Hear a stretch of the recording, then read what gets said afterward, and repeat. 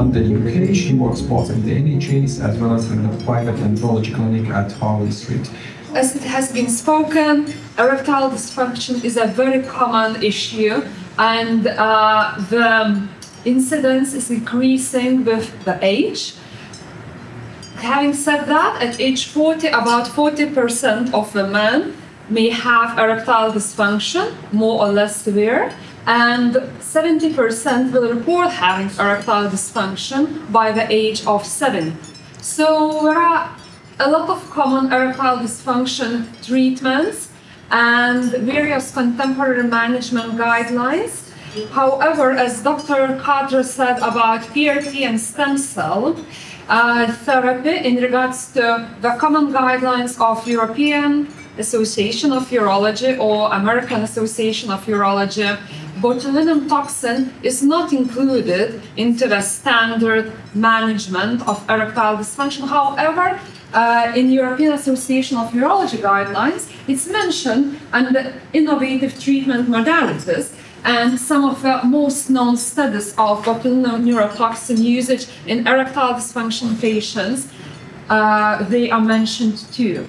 So, as we know, botulinum toxin A is produced by anaerobic bacteria, Clostridium botulinum, and there are eight distinct serotypes from A to G, uh, A, B, C, E, F, and G, uh, that are susceptible to human nervous system, and there is one D serotype which doesn't have clinical relevance. Serotype A botulinum toxin A is most commonly used in the clinical practice, and several commercial formulations exist, with Botox produced by Allergan being the most widely used in both aesthetics and also other non-aesthetic functional um, clinical approaches. So botulinum toxin A first was used in 1977 in the treatment of strabismus in children, and since then, more and more um, clinical usages have been adapted, and now it's being widely used for various functional treatments, as well as obviously aesthetic treatments. So the critical process in penile erection activity is the relaxation of the intracavernosal smooth muscle and in regards to the logic behind botulinum toxin usage in erectile dysfunction, we have to go back to the general pathophysiology of erectile function. So paraventricular and medial preoptic nuclei of hypothalamus control this process of erectile function. Signals travel through the parasympathetic nervous system uh, to the nerves of a S from S2 to S4 sacral plexus, and then we travel to the penis via cavernosal nerves. And nitric oxide is being released by those cavernosal nerve terminals that it all initiates the erectile process, while nitric oxide from endothelial cells act to maintain the process. So the mentioned nitric oxide stimulates the production of cGMP that further on um, activates protein kinase G that opens potassium channels and closes calcium channels, and that reduces intracellular concentration of calcium, relaxes intracavernosal smooth muscle tissue within penile shaft, and in that case, arterial flow is being increased on the mechanical basis while simultaneously veno-occlusive uh, activity appears. So that's the whole logic behind botulinum toxin usage, because botulinum toxin uh, usage may, uh, may relax smooth muscle tissue as well as, uh, as well as lead to an increased arterial flow towards erectile function, uh, towards erectile tissue, and enhance erectile function in women. Botulinum toxin formulations are mainly known as free botulinum toxin A, botulinum toxin A, and botulinum toxin A. These are commercially available products And as I told, the vast majority of studies in regards to erectile function treatment with botulinum toxin based on uh, the mentioned botulinum toxin A and mainly with Botox produced by Allergan. So as you might have known, all these different uh, types of toxin, they may also differ uh, in their characteristics, especially also how we are uh, diluting the toxin. There are different units per vial uh, system, and also uh, some of them they have to be stored different. So it's very important.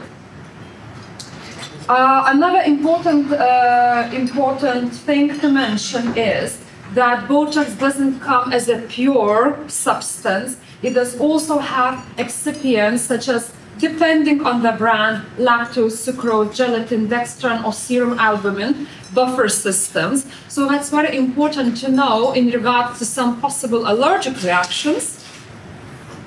In general, botulinum toxin has light and heavy chains and also on toxic accessory proteins, which is common to all the uh, botulinum neurotoxin formulation. The following illustrates how muscle contractions occur, and then how Botox Cosmetic helps to temporarily reduce the muscle contractions that cause facial lines to appear. Neurons send signals to the muscle cells, causing them to contract and produce movement. Over time, repetitive muscle movements may cause facial lines to form, the presynaptic neuromuscular motor nerve ending contains vesicles prepared to release the neurotransmitter acetylcholine. When neuronal stimulation occurs, the vesicle fuses with the nerve membrane. This process is facilitated by interaction between proteins on the vesicle and the cell surface, forming the snare complex. Binding of the vesicle to the membrane triggers acetylcholine release, which results in muscular contraction. This is the normal function of muscular contraction prior to Botox cosmetic injection.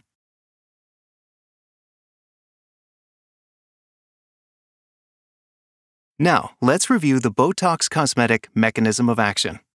The Botox cosmetic complex includes the 150 kilodalton core molecule surrounded by its protective accessory proteins.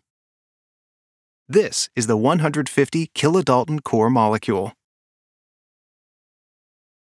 The Botox cosmetic core molecule is comprised of a 100 kilodalton heavy chain and a 50 kilodalton light chain. The heavy chain contains the binding domain that allows it to interact with the receptor of the nerve terminal. Therefore, it is able to enter the cell through the process of endocytosis.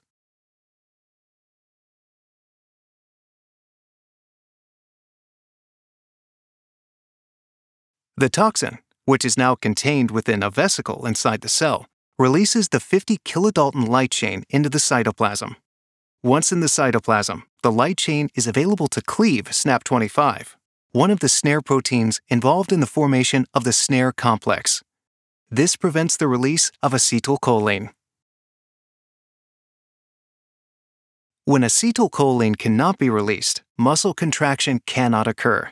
In this uh, nice visual, which is royalty-free and widely uh, accessible as educational one by Allergan, uh, even though you know it's uh, for anti-wrinkle treatment in the face, this general concept uh, can be uh, adjusted to any kind of treatment with botulinum toxin in regards the mechanism in the nutshell. Then we talk about botulinum toxin on the muscle relaxation. Uh, during this uh, active period, it is uh, of the action, it is believed that normal muscle innervation and function are still restored uh, because afterwards, three or six months, once uh, that, uh, that uh, effect of a Botox diminishes, axonal sprouting starts, and that's exactly why Botox is reversible treatment. Because axonal sprouting, then it restarts, uh, then we regain the muscle's ability to contract again. So generally speaking, when we talk about the erectile dysfunction treatment with botulinum toxin, it's also lasting for about three to six months, and afterwards it needs top up. In regards to the contraindications, you may find it in the leaflet. Uh, obviously, allergic reactions to previous uh, treatment. As I said, it's very important not to forget some other ingredients, excipients. Now, in regards to the botulinum toxin impact on fertility, whether it may be any kind of adverse reaction on fertility, there are some studies available. And in regards to those available studies, no adverse reactions were noted. It's another important topic, uh, immunogenicity to botulinum toxin treatment. Uh, so sometimes body forms some antibodies to botulinum toxin and either it is primary or secondary uh, situation, it may lead to non-responsiveness to botulinum toxin treatment. In regards to dilution, it's all available, it's all standard. And for any kind of treatment, usually the dilution is with 2.5 milliliters of 0.9% of uh, normal saline uh, in regards to in regards to the vial.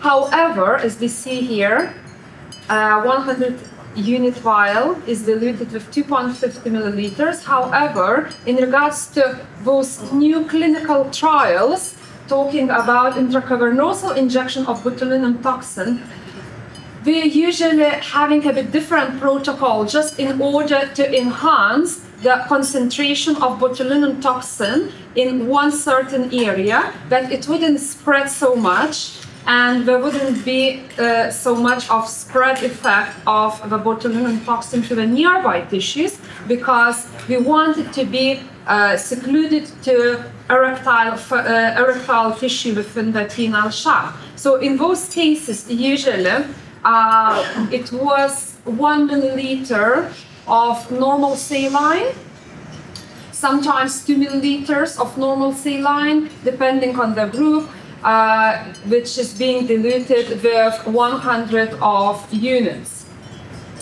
But generally speaking, uh, the idea is that whatever dilution we are using, maybe we will have more or less dispersed effect, maybe we will have more or less effect. However, the mechanism is the same and the idea is the same. That botulinum toxin, if being injected into erectile tissue, it can act on smooth muscles within the erectile tissue, and in that case, uh, the arterial blood flow is increased to the uh, penile shaft, and we have an enhancement of erectile function.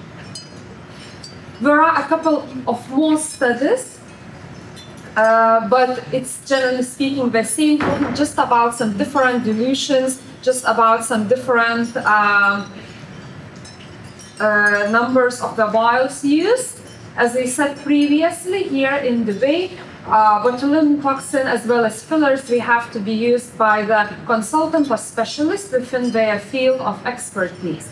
So that's mainly the idea but it's all still under the clinical trials and there are no official guidelines, no standardized treatment in regards to botulinum toxin uh, usage for erectile function enhancement.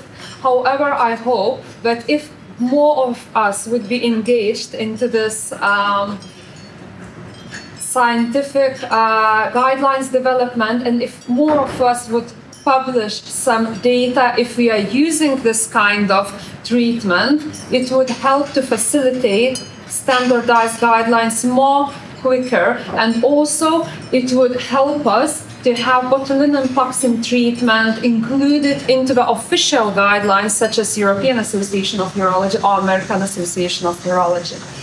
If you would have any questions, I'm happy to answer that in the end of the session.